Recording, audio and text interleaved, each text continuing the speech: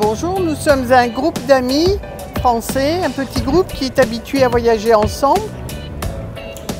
Et nous avons euh, pour la majorité la chance d'être retraités pour pouvoir donc faire de beaux voyages. Pourquoi avons-nous choisi l'Ouzbékistan? Parce qu'après avoir fait un voyage en Iran, avoir fait pour la plupart d'entre nous la route de la soie, l'Ouzbékistan, surtout Samarcande, aussi, enfin aussi Samarcande, était la continuité donc pour cette culture tout autour de cet axe. Marie-Jeanne, tu as tout dit. Alors, euh, moi, ce que j'ai envie de dire, c'est que les, Ouzbeks sont extrêmement gentils, très accueillants. Ils viennent vers nous beaucoup pour les photos, c'est vrai, mais aussi par euh, grande gentillesse et pour nous accueillir. Et hum, pour ce qui est de l'organisation du voyage, nous sommes avec un guide formidable, chauffeurs formidables, et vraiment tout le monde est au petit soin pour nous. Merci les Ouzbeks et merci cette agence en particulier. Je m'appelle Marion, je fais partie du voyage de la route de la soie et je voulais dire qu'avant de venir en Ouzbékistan, eh bien, je n'avais pas d'idée particulière, si ce n'est que autour de moi, tout le monde me disait l'Ouzbékistan, l'Ouzbékistan, mais qu'est-ce que tu vas faire là-bas? On avait l'impression que ça serait un petit peu difficile. Or, en étant venu ici, et je repars avec l'idée que c'est un pays agréable, accueillant, avec euh, une histoire et une culture extraordinaire. Et quand je reviendrai dans mon pays, je dirais que c'est un pays où il fait bon aller si on veut euh, apprécier la culture de l'Asie centrale, rencontrer des gens euh, sympathiques et voilà. J'ai dit à tout le monde que c'était un beau pays.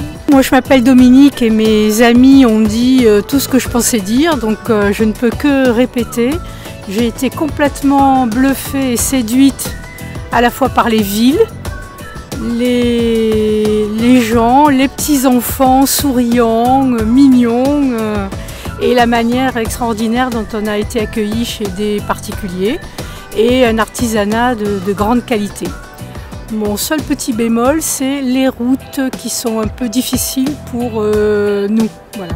Mais tout était extraordinaire. Bonjour, je, m'appelle Colette et je suis très agréablement surprise de, de la chaleur dégagée par les, par les Ouzbeks parce que on a l'impression d'une grande envie de vivre, de rire, de, de découvrir, le patrimoine, mais découvrir aussi les gens, découvrir les cultures des étrangers. Comme nous, nous, découvrons aussi la culture, euh, la culture de l'Ouzbékistan. C'est un très beau pays, avec un, patrimoine, un patrimoine extraordinaire, auquel je m'attendais un peu pour avoir eu envie de venir à Samarcande, à Bukhara aussi. Kiva, je ne connaissais pas non plus, mais c'est magnifique. Et vous, avez des champs partout, tout, est, tout est vert, tout est bien entretenu. C'est très propre partout et c'est vraiment très agréable de circuler en Ouzbékistan.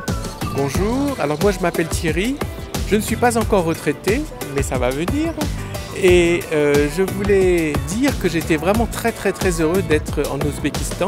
C'est une destination que je n'avais pas choisie au départ, mais euh, j'ai été convaincu de venir vous voir parce que euh, les, monuments sont très très très beaux et ce qui m'a vraiment surpris, c'est euh, la rencontre avec les enfants ouzbeks. Euh, beaucoup d'entre eux parlent très très bien l'anglais et beaucoup d'entre eux parlent beaucoup de langues simultanément alors qu'ils sont jeunes. C'est ça qui m'a vraiment surpris. Et donc j'ai été aussi très surpris par la qualité de l'accueil ainsi que la propreté euh, partout où on est allé.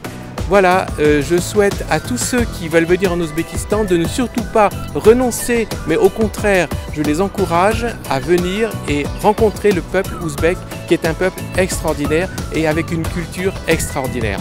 Voilà.